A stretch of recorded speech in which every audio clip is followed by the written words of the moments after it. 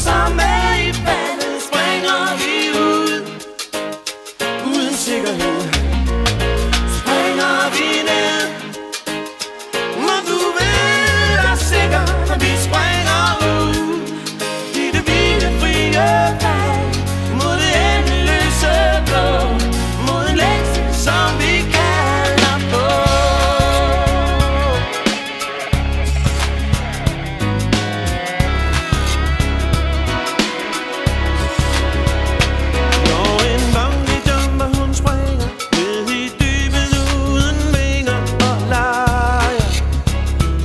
Thank you.